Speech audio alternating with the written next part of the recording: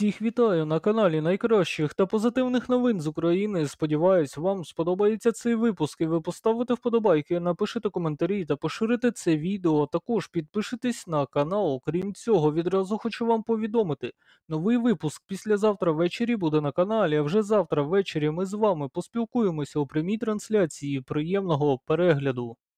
Ударний безпілотник Байрактар від литовців вже прибув в Україну. В Україну з Литви прибув бойовий багатоцільовий безпілотник Байрактар з ім'ям Яструб, на який зібрали гроші литовці. Безпілотник разом з боєприпасами до нього було напередодні доставлено зі Стамбула у Литву.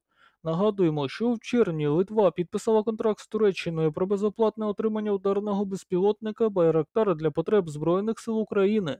Щоб купити ударний безпілотник для України об'єдналися громадяни Литви на знак солідарності з Україною. Понад 5 мільйонів доларів було зібрано всього за 3,5 дні, переважно невеликими сумами. Це був перший випадок в історії, коли звичайні люди збирають гроші, щоб купити ударний безпілотник для захисту іншої країни. Сполучені Штати Америки нададуть Україні тисячу високоточних боєприпасів для артилерії калібру 155 мм в рамках нового пакету військової допомоги на 400 мільйонів доларів. Боєприпаси мають такі ж можливості, як і боєприпаси, які вже передавали, котрі наводяться за допомогою GPS. Представник адміністрації Байдена сказав, що високоточні боєприпаси мають допомогти українцям заощадити боєкомплект.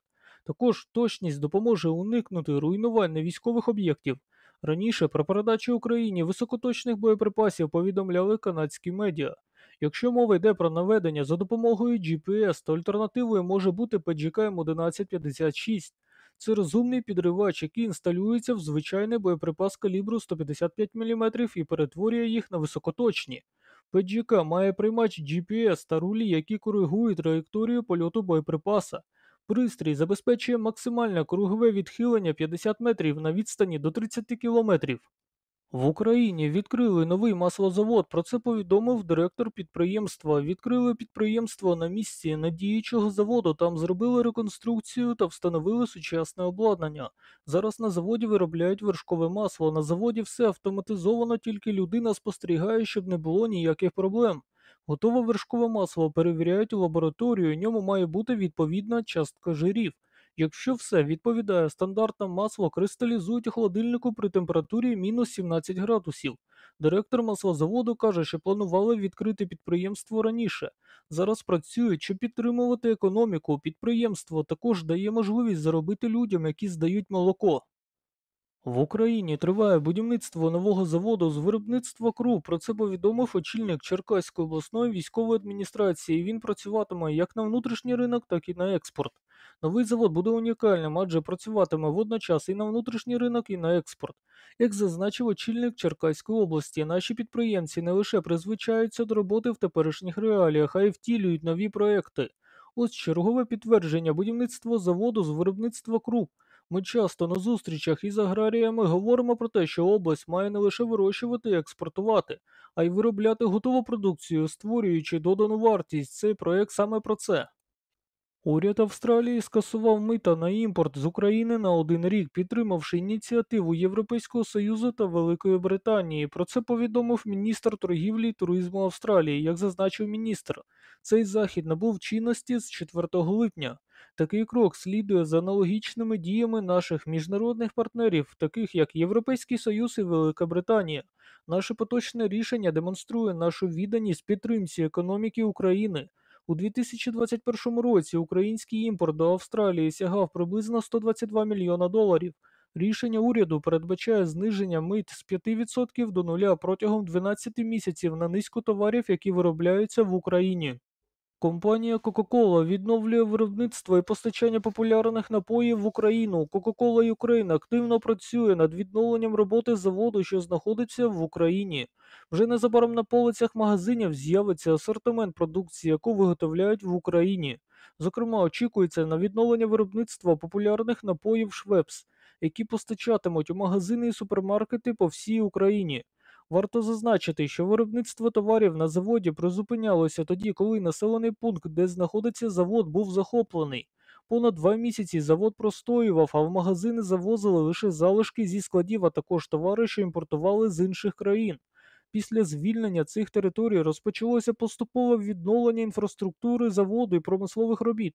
Вже у травні було налагоджено виробництво таких популярних напоїв, як Coca-Cola, Fanta і Sprite.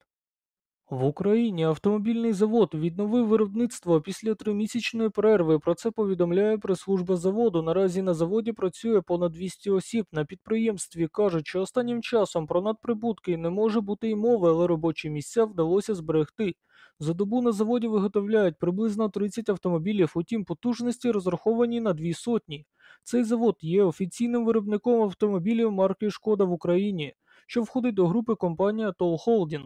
Завод є одним з найбільших виробників легкових автомобілів в Україні. Частка заводу в загальному обсязі виробництва легкових автотранспортних засобів у 2020 році становила 80,5%. Виробничі потужності заводу складають 80 тисяч автомобілів на рік з потенціалом для подальшого розширення потужностей. Зовсім нещодавно продукція підприємства Українського товариства сліпих успішно продавалася не лише в Україні, а й далеко за її межами, зокрема в Польщі, Сербії, Німеччині та Косово. В останні місяці виробництво на підприємстві незрячих було майже призупинено. Частково працював лише швейний цех, втім, з 1 липня підприємство незрячих поновило масове виробництво продукції, як зазначили у прес-службі підприємства. Поновлюємо випуск насосів водолій для забору води з криниці водойомич поливу городів. Вони користуються попитом навіть в деяких країнах Європи. Знову будемо випускати кип'ятильники, причому за усіма нормами ДСТУ. Дехто купує такі прилади з нержавіючою трубкою, у якому зовсім інша тепловіддача. До того ж, цей матеріал не передбачений для харчових потреб, а ми використовуємо стандартні трубки з харчового алюмінію. Не забуваємо і про випуск звукових маячків для людей з вадами зору, постільної білизни і спецодягу для працівників. Директор підприємства нагадав, що на підприємстві понад 60% працівників це люди з інвалідністю. В Україні завод на замовлення іншого заводу з України виготовив кранову естакаду з електричним мостовим однобалковим опорним краном. Нове кранове обладнання було потрібне замовнику для підвищення ефективності виробничих потужностей. Зокрема, новий кран планувалося використовувати для завантаження готової продукції в автомобілі. При цьому перед конструкторами заводу ставилося завдання забезпечити можливість швидкого та рівномірного підйому великогабаритних вантажів. Тому було прийнято рішення про застосування двох талів вантажопідйомністю 5 тонн кожна на одному крані, адже їхня тандемна робота дозволить рівномірно піднімати вантаж і переміщати по всій території робочого майданчика. Виготовлений кран призначений для роботи на вулиці, тому було застосовано електрообладнання, а також виготовлений навіс для розташування кранового обладнання в зоні депо, що дозволяє захистити його від атмосферних опадів. Варто зазначити, що кранове обладнання оснащене двошвидкісними двигунами. Дуже та щиро всім дякую за підтримку та перегляд. Також, якщо у вас є можливість та бажання, ви можете підтримати канал фінансово. Реквізити на PayPal написані у першому закріпленому коментарі. Ще раз хочу вам нагадати, новий випуск післязавтра ввечері буде на каналі, а вже завтра ввечері ми з вами поспілкуємося у прямій трансляції. Бажаю всім успіху та міцного здоров'я до наступного випуску.